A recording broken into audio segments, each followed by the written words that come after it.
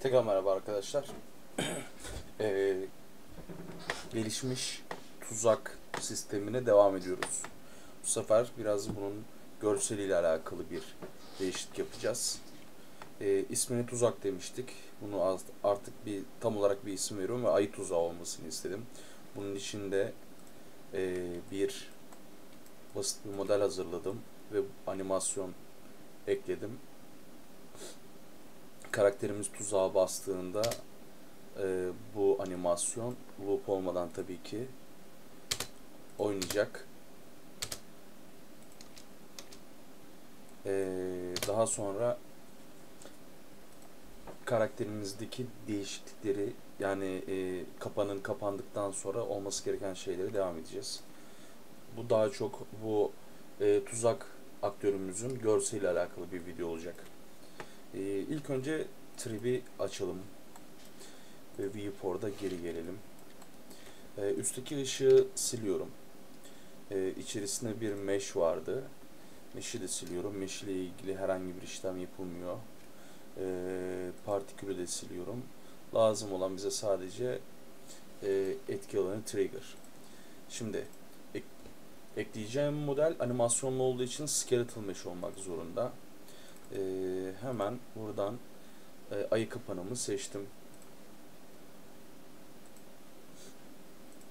Ve bunu aktörümün içerisine ekliyorum. Trap aktörüme skeletal mesh bir trap evet. Evet göründüğü üzere eklendi. E, trigger'ı biraz modeli aşağı alacağız. Bir tane daha tamamdır. Trigger'ın radius'ını biraz düşürebilirim. As aslında bunları pardon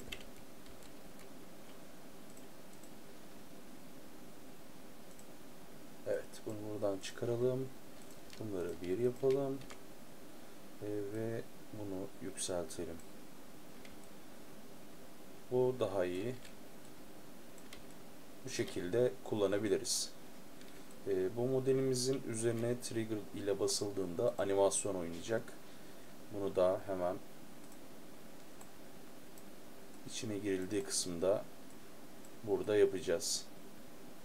E, trigger içerisine girildiğinde apply damage çalışıyordu. Hemen arkasına animasyon oynamasını söyleyeceğiz bir de.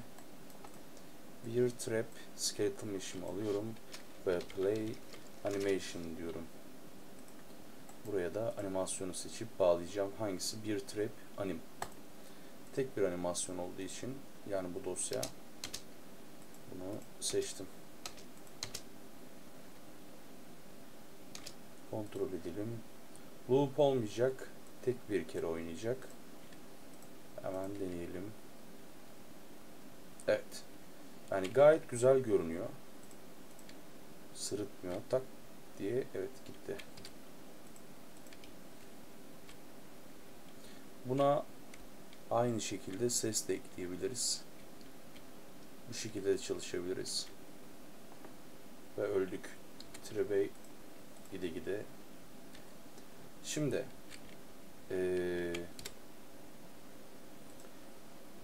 Trebey yakalandıktan sonra e, örnek veriyorum karakterimizin hareketsiz kalmasını sağlayabiliriz. Sonuçta e, bu bir kapan ve zaten hani ayağımızı kapmış oluyor mantıken. Bunun için de e, inputları, klavye inputlarını kapatmamız normal şartlarda yeterli. E, bunu da birkaç farklı şekilde yapabiliriz. E, hatırlıyorsanız karakter controller'ımda zaten bu işleri e, yapıyorduk dead kısmında. Dead kısmını açalım hemen. Evet, dead kısmında zaten burada disable input dediğimde e, klavye gerilerini kapatıyordu ve klavye ile herhangi bir şekilde e, işlem yapılmıyordu. Bunu bir süre, misal örnek veriyorum, süreli olmasını istiyorsanız bir süre bunu yaptırarak e, deneyebiliriz ya da örnek veriyorum bunu yaptıktan sonra yani kapana yakalandıktan sonra yapmamız gereken farklı bir şey olmasını sağlayabiliriz. Bunları da bakalım. Hatta kapağından kurtulmak için de ekstra bir şeyler yapmamız iyi olur. Bir sonraki videolardan birisi bu olabilir. Ee, şimdilik bu kadar.